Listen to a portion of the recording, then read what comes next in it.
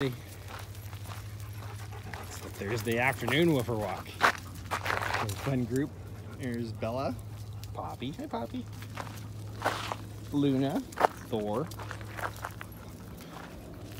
uh, Barkley's having a pee, Shade, Kai, Ally, gonna scratch. Benji. Did they say Shade? Yep. Well, it is Benji's last day today. Benji is going on hiatus. Uh, we don't know for how long. Hopefully we'll see him again. but, uh, man, been walking you for a while, Benji. Since you were a puppy. It's been pretty cool. So we're gonna give him the best walk we can today. And uh, it's cool though, cause like uh, Ally's here, Bella's here, so he's got two of his original original dogs that he's been walking with, so that's pretty cool. Should have a good time.